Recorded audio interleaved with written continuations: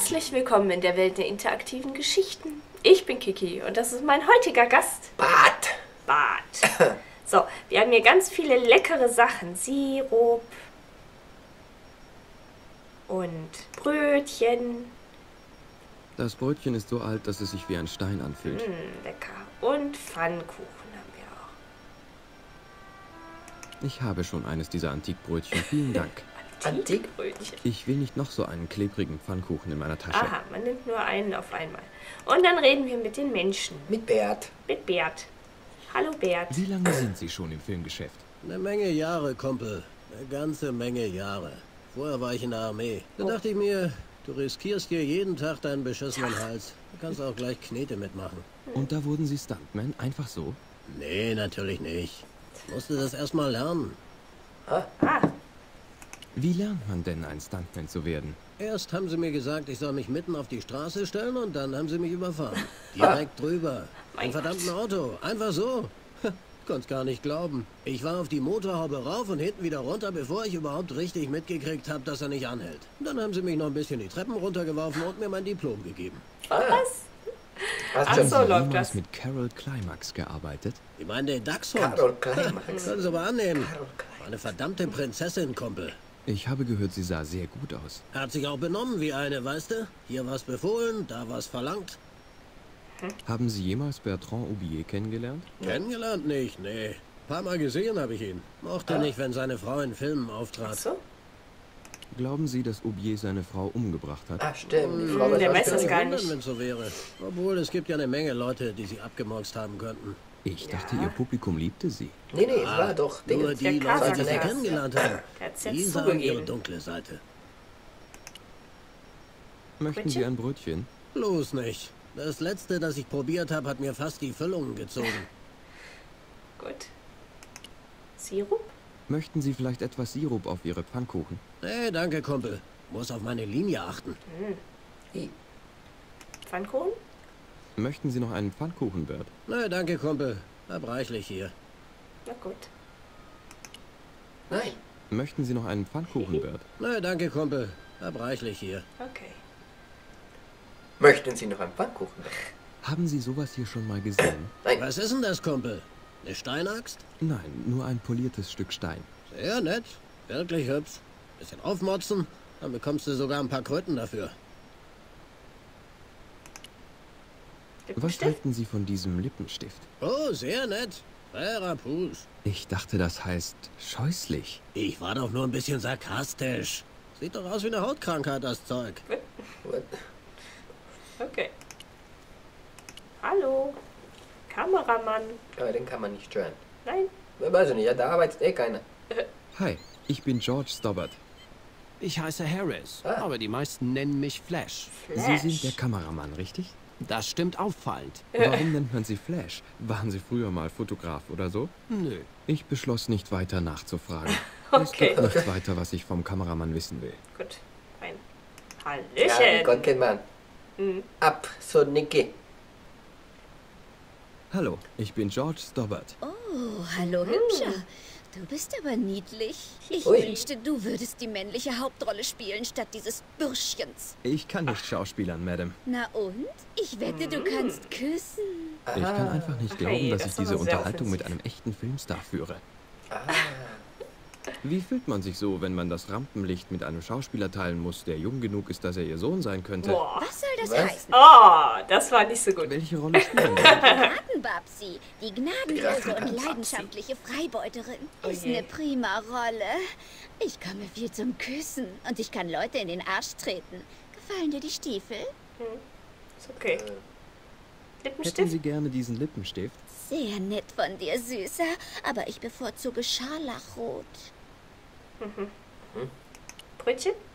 Möchten Sie dieses Brötchen? In Ordnung. Oh, warte mal. Hox beobachtet mich. Lass es ihn nicht sehen. Oh, oh, er schaut genau zu mir rüber. Was ist los? Egal, steck nur das Brötchen weg und tu so, als hättest du gar nicht mit mir gesprochen. Ähm, Was Schlippi? halten Sie hiervon? Bäh, das ist ja scheußlich. Sie haben ja keine Ahnung, wie weit Sie gerade in meiner Achtung gestiegen sind. Hab schon mal das Schauen Sie sich gesehen. dieses antike Maya-Kunstwerk mal an. Das ist doch nur ein Stück Stein, in das jemand ein Bildchen gekratzt hat. Tja, in gewisser Weise schon, ja. Sie haben nicht zufällig irgendwo etwas Ähnliches gesehen? Nein, Ich habe diesen Ich hab hier mein Rohr. am auf der anderen Seite der Insel gefunden. wirklich? Ja, und ich habe damit einen vergifteten Pfeil auf einen wilden Eber abgeschossen. Das war Leben, echtes Ah. Abenteuer, nicht nur eine Filmszene. Ja, ja. Ja, Sie hat ja. Probleme mit dieser ganzen Theorie von wegen, das wirkliche Leben ist kein Film. Äh, ja. Na gut. Hier, Guybrush Streetwood. Ja. Hallo Junge. Hallo, George Stobbart. Aha, ja. Haiku McEvan.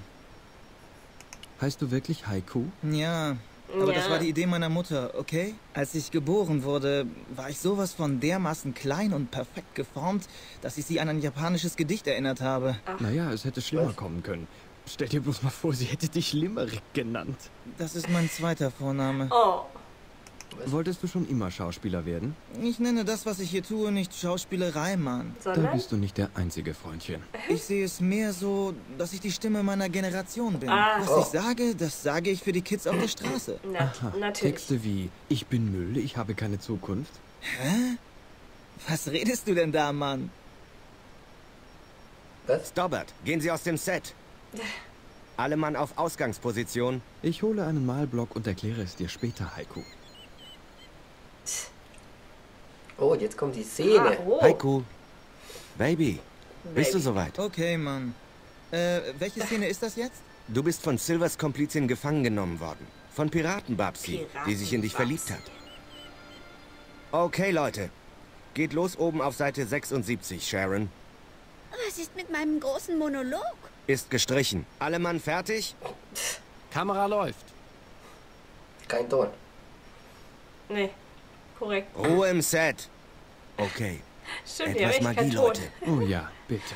Und Action. Warum vergisst du nicht den blöden alten Squire und seine Hampelmänner? Siehst du denn nicht, dass wir füreinander geschaffen Ach, sind? viel Ich weiß. Aber der Squire Trelawney hat mein Leben gerettet, Captain. Babsi. Also, wenn der da nicht gewesen wäre, dann hätte mich dieser riesen Tintenfisch aber sowas von dermaßen zur Sau gemacht. Aber jetzt hält er dich für einen Verräter. er hat dich aus der Palisadenfestung ausgeschlossen, Jimbo. Ach was, so ein 6-Meter-Zaun kann vielleicht Silvers Männer aufhalten. Aber mich kann das Ding doch sowas von nicht beeindrucken. Oh, Jimbo. Oh nein. Und Schnitt. Das schwere Atmen war gut, Sharon. Kinderspiel, bin doch ein Profi. Ja, gut. Fein. Hast du das schwere Atmen auch drin, Flash? Hab ich doch immer, Boss. Wir hätten diesen Streifen in 3D filmen sollen. Ganz Ohne- ohne Ton. nicht. Ohne Ton. Heiko, du warst großartig. Wir machen jetzt gerade den Stunt klar. Also schnapp dir so lange ruhig einen Happen zu essen. Lolololololo. La la la. Okay. Savage, ins Set verdammt nochmal. Aha. Sehr, sehr ähnlich sieht er aus. Ja.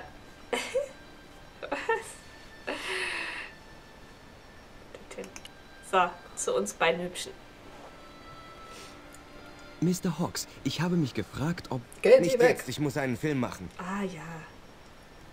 Zeit für den Stunt, Savage. Kurzer Anlauf, dann springen Sie auf die Planke und fliegen mit einem Salto über die Palisaden. Bitte, was soll ich? Planke, Salto, Palisaden. Drüber weg. Ganz leicht, das könnte jedes Kind. In meinem Alter? Sie scherzen wohl. Ich könnte Sie leicht ersetzen, Savage. Jo, durch einen arthritischen Gorilla. Mich ersetzen. Hören Sie doch auf. Das hier könnte der letzte Stunt sein, den ich je mache. Ich muss erst mal drüber nachdenken. Mich in die richtige Stimmung bringen. Eine Selbstmordlaune wäre dem Stunt angemessen. In Ordnung, tun Sie das. Wir machen so lange Mittagspause. Oh, prima. Ich bin am Verhungern. Bleiben Sie genau da hocken, Savage, und gehen Sie in sich. Größenwahnsinniger Verklemmer. Eieiei. So, hier ist ein Busch. Nee, ein bisschen weiter rechts. Ah, so. Okay. Als ich mich dem Busch nähere, beginnt er ärgerlich zu summen. Oh oh. Ah. Ah. Ich habe mal irgendwo was gelesen, dass man da was reinschmeißen soll. Ich glaube. Ui. Uh. Gefällt den Hornissen gar nicht. Hihihi. Oh, Mehr meine.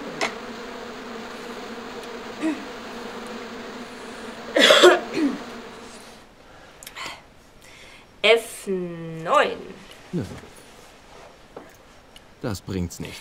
Herzlich willkommen in der Welt der interaktiven Geschichten. Ich bin Kiki und das ist mein heutiger Gast, Bart. Bart. So, wir haben hier ganz viele leckere Sachen. Sirup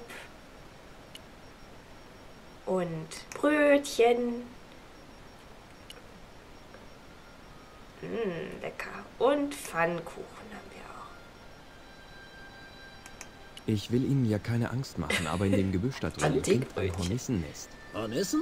Ah, das erinnert mich Aha, an dann einen Film, in wir dem ich mitgemacht habe. Und dann reden wir mit den Hornisse. Menschen. Mit Bert. Mit Die Bert. schwarze Hornisse? Hallo, An den Bert. kann ich mich gar nicht erinnern. Wohl etwas vor deiner Zeit, schätze ich. Was passiert denn da drin? Tja, warte mal. Oh. Was passiert nicht da drin? Ich wurde erschossen, erstochen, an Piranhas verfüttert, hing unter einem Fesselballon und wurde von einem Zebra plattgetrampelt. Nein, ich meine, was war die Handlung? Wie Handlung? Möchten Sie noch einen Pfannkuchen, Bert? Oh, da sage ich nicht nee. Mein Gott. Von dem Pfannkuchen tropft Ahornsirup wie ein Wasserfall über Berts Doppelkinn. Ey, Mist! Du hast ja Sirup auf die Pfannkuchen getan. Und jetzt bin ich ganz eingesaut. Was? Passt Ach so läuft das. Carol Climax. Hm. Carol Climax.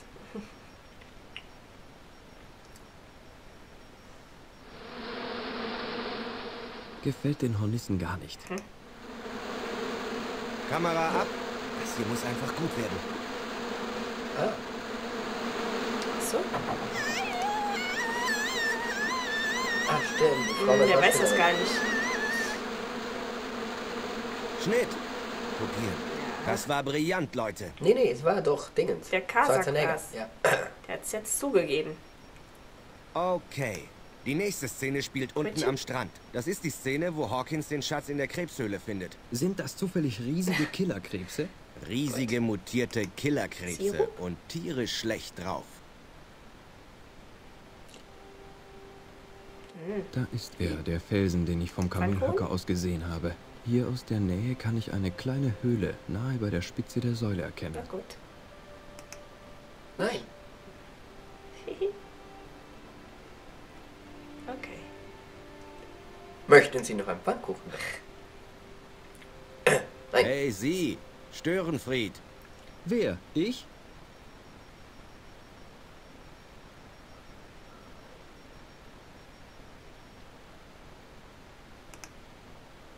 Lippenstift? Ich will, dass Sie da bleiben, wo ich Sie im Auge behalten kann. Ich bin keiner Ihrer Lakaien, Hawks. Ich gehe, wohin es mir passt. Aber nicht hier, Freundchen. Die Filmgesellschaft hat diese Insel für die Dauer der Dreharbeiten gemietet. Sie sind Okay. unerlaubt hier eingedrungen. Also Hallo? tun Sie, was ich Ihnen sage, oder Sie fliegen raus. Aber den kann man nicht stören. Nein. Weiß ich nicht, ja, da arbeitet eh keiner. Was halten Sie von Heiko McEwan? Was gibt es da groß zu halten? Der Kleine hat wahrscheinlich in der Pubertät mehr verdient als ich im ganzen Leben. Ich wünsche ihm viel Glück.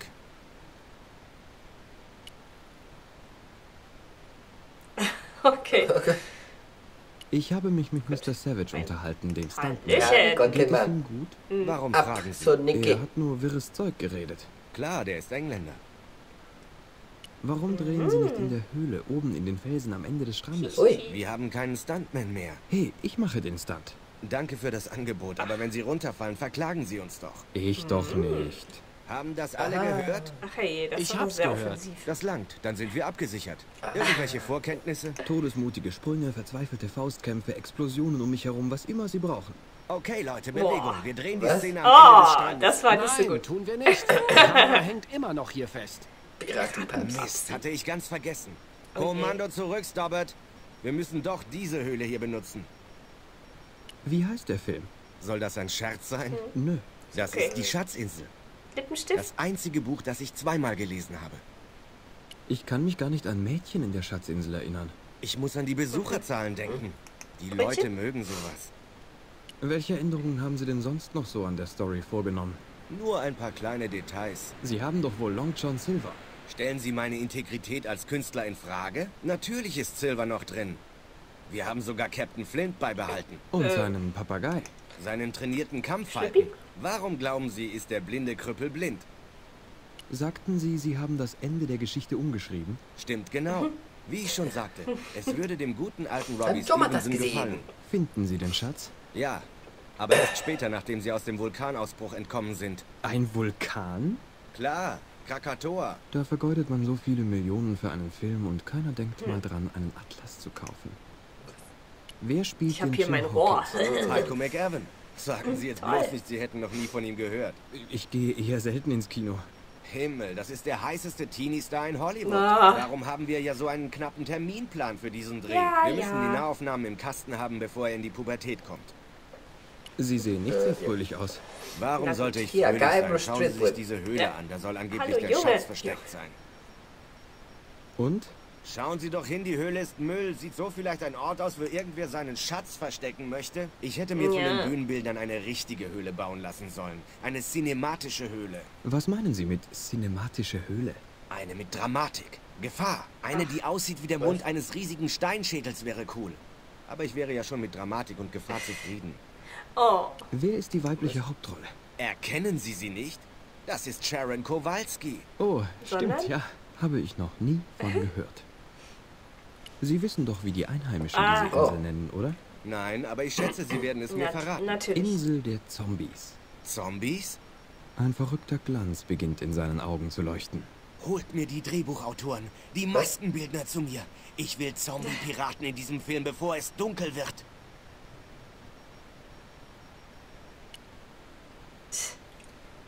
Oh, jetzt kommt die Ah, Szene. oh. Tag. Bert. Sag bloß nicht Tag zu mir. Bist mir ein schöner Freund. Was ist denn los? Hä? Wie ist das so, mit Carlton Hawks zu arbeiten? Ein verdammtes Elend, Kumpel. Hören Sie, Bert, was ist los? Du hast vielleicht Nerven, du.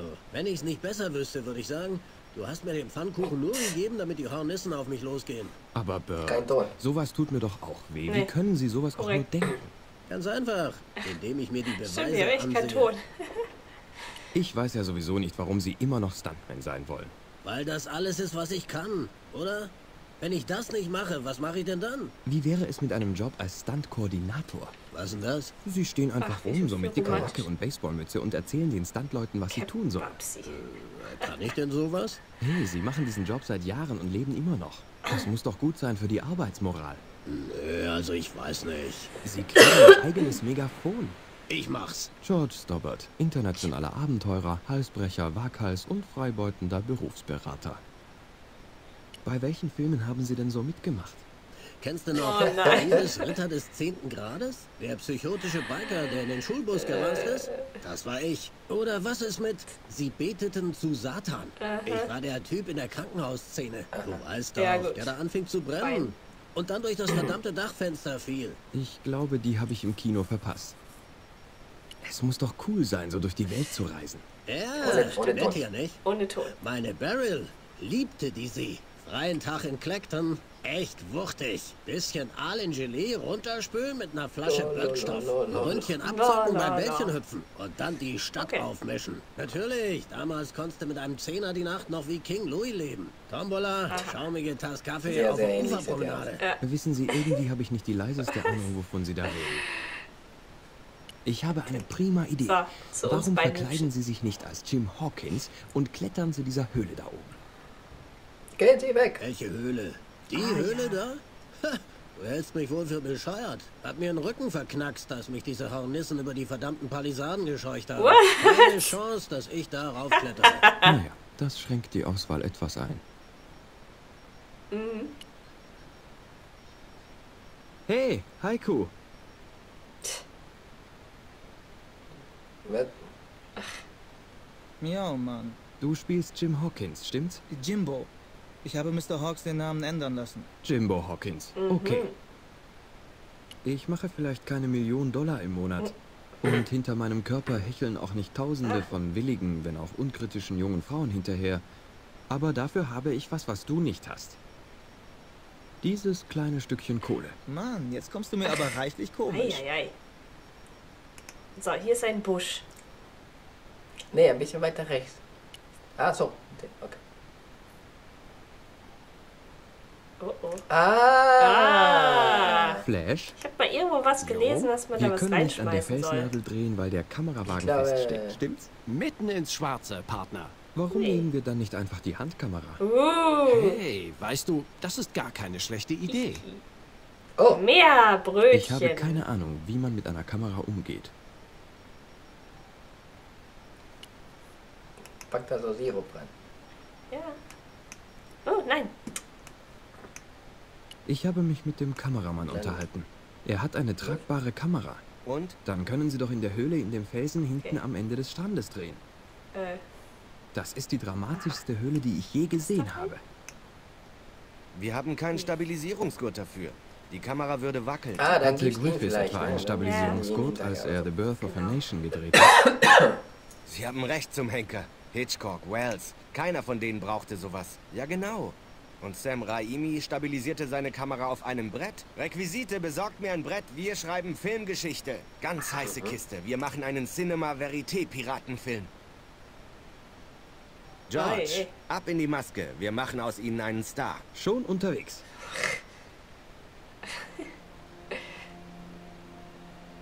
oh nein. Super.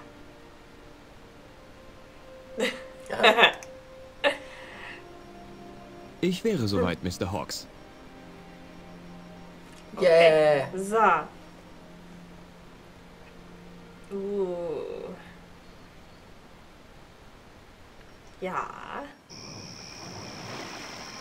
Tja. Da sagen wir jetzt gar ein nichts. Brötchen für die Hornisse.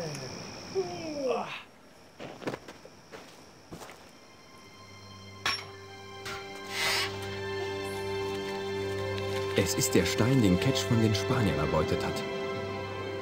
Der Adlerstein.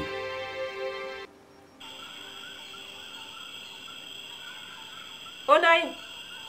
Ich komme nach Caramonte zurück und erfahre, dass George bei Concha eine Nachricht für mich hinterlassen hat. Er ist schon unterwegs zum Indiodorf, also muss ich mich beeilen, um ihn einzuholen. Als ich dort ankomme, finde ich eine Stätte der Verwüstung vor. Was? Was war das denn? Okay, die ist auch tot.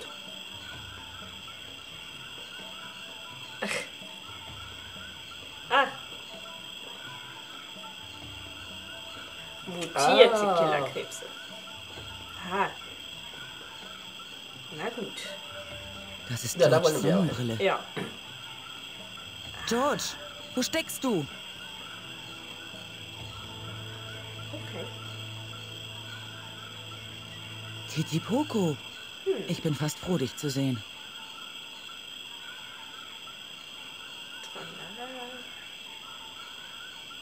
Oh. Ich? Also nochmal zurück. Du kleines Arschloch. Was ist hier passiert? Warst du daran schuld? Und wo ist George? Hast du ihn gesehen? Er zeigt auf die qualmenden Überreste einer Hütte.